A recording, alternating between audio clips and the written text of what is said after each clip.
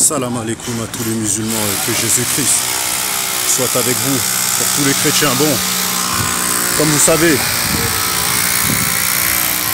Benache, mes frères et sœurs, vous a, vous a dit, mes frères et sœurs, le clash avec Boulbi. Bon, ça fait longtemps que je vous parlais plus de rap, mais comme mon compte TikTok euh, bah, à 24 000 abonnés vient de sauter, par les jaloux, je vais vous parler un peu de rap. Normalement, j'avais arrêté de parler de rap. Mais je recommence.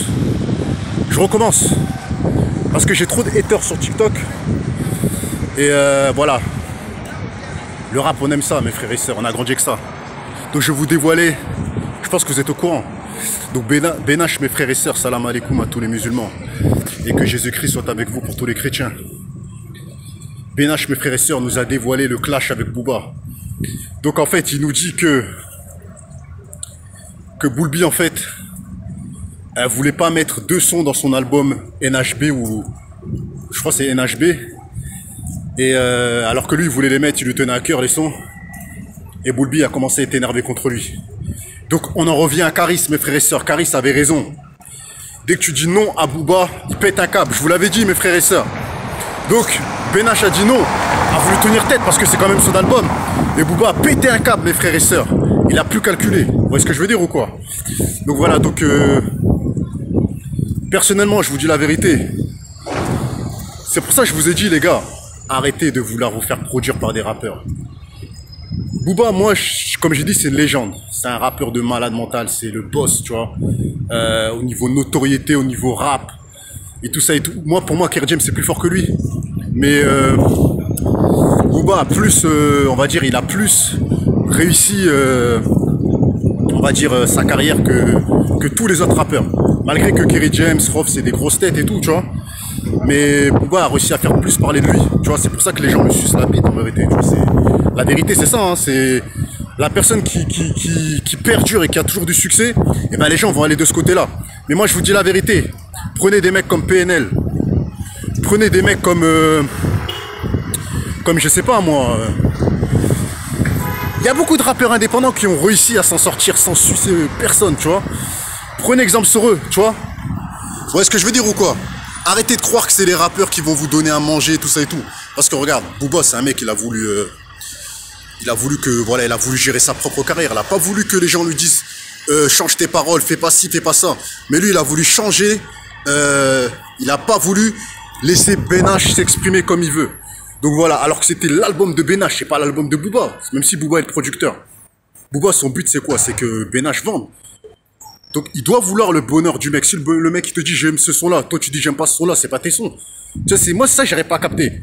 Pour moi, Benache il a raison, tu vois. Pour moi, après, ça reste que mon point de vue. Benache a raison, tu vois. Si tu veux mettre des sons dans ton album à toi, ton producteur, il, normalement, il doit pas parler, frère, sur ça. Tu vois, c'est, moi, je comprends pas, en ce qui se passe, qui s'est passé là, il a dévoilé les raisons. Tu vois, après, on lui a pas fait une promo pour son album et tout, tu vois. Donc voilà. Et on va revenir aussi, euh, à Sultan. Donc, bah, là, maintenant, j'ai ma réponse par rapport à Sultan.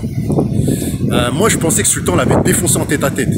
Parce que moi, c'est ce qu'on m'avait dit. On m'avait dit que, non, on m'avait dit, il y avait deux versions.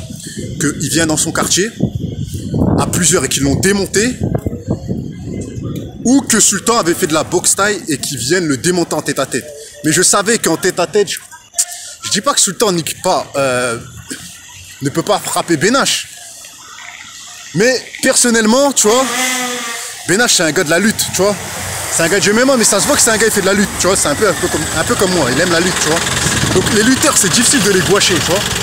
Parce que nous, quand on se fait briser debout, on va te soulever, frère. Tu vois, je dire ou quoi, tu vois Parce qu'on a les capacités, on a, on a, comment dire, on a la puissance. On travaille le jujutsu brésilien, on travaille la lutte gréco-romaine, le grappling. Tu vois, nous, moi, j'ai grandi avec ça.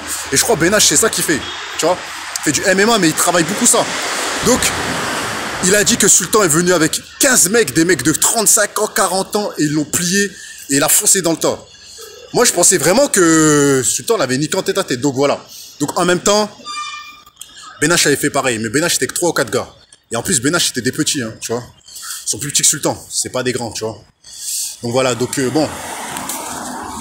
En tout cas, le message positif de Benache, c'est que voilà, moi, pour moi, c'est que. Moi, pour moi, après mon message à moi, les gars, arrêtez de sucer. la vie de ma mère, arrêtez.